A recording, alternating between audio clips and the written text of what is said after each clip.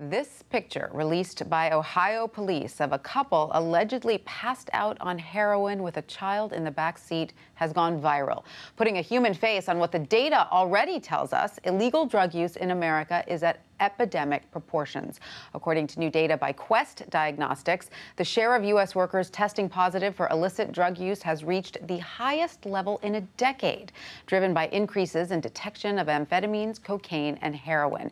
The federal government estimates by year 2020, mental and substance abuse disorders will surpass all physical disease as the major cause of disability, costing the U.S. economy more than $600 billion and we're joined now by Dr. Roger, Roger Crystal, CEO of Opiant Pharmaceuticals and the inventor of Narcan nasal spray to discuss the forefront of treating addiction.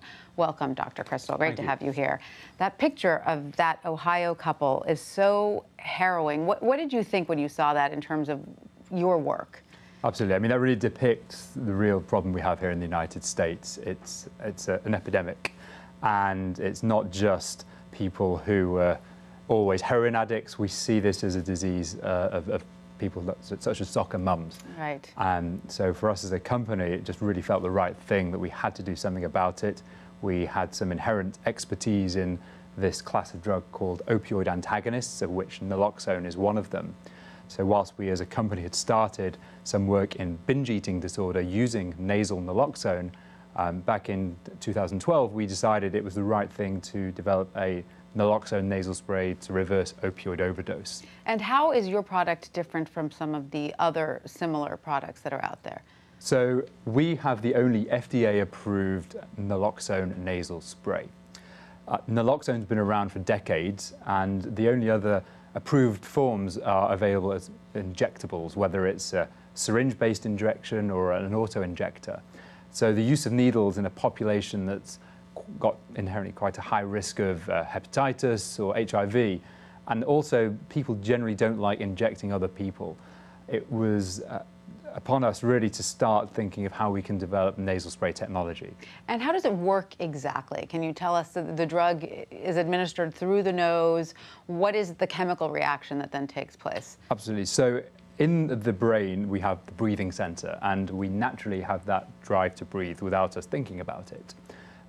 Opioid receptors throughout the brain, and in particular in the breathing center, if they're blocked, um, then that drive to breathe can be shut down. Mm-hmm.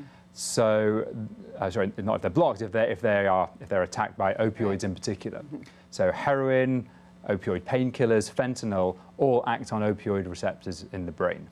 So by us developing this drug or using this drug called an opioid antagonist, we block the effect of opioids. So the patient who's stopping breathing can then spontaneously start to breathe again. And when you say opioids, this is heroin and fentanyl, which killed Prince, Absolutely. correct? So, Absolutely. So, so tell us about the, the price of this, because I know some Narcan products in the past, as demand increases, the price has gone up.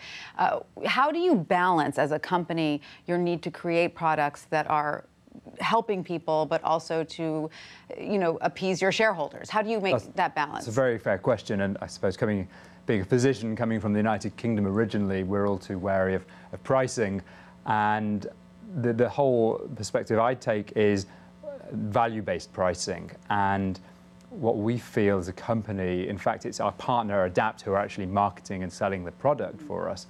But nevertheless, when we think about pricing, we've invested millions of dollars um, over two to three years to actually develop this product. And you're continuing to do research Absolutely, on we're new continuing to, yes. uh, um, to, to um, develop opioid antagonists nasally for a whole range of conditions. Right.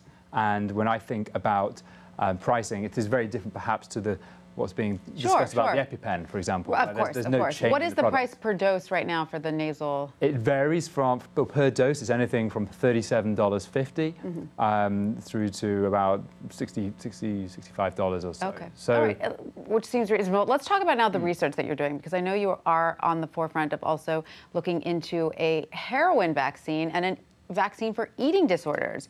Can you tell us how these drugs or these vaccines would work? Absolutely. So, just to be clear, the heroin vaccine is a vaccine based approach for okay. eating disorders, and this is where it's exciting for us.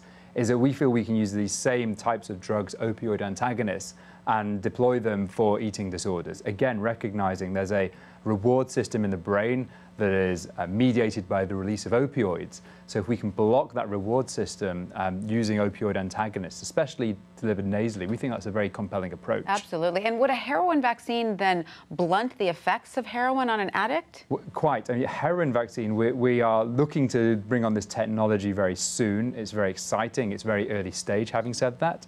And the heroin vaccine is really, uh, it works, simply put, by destroying the heroin in the blood before it gets to the brain.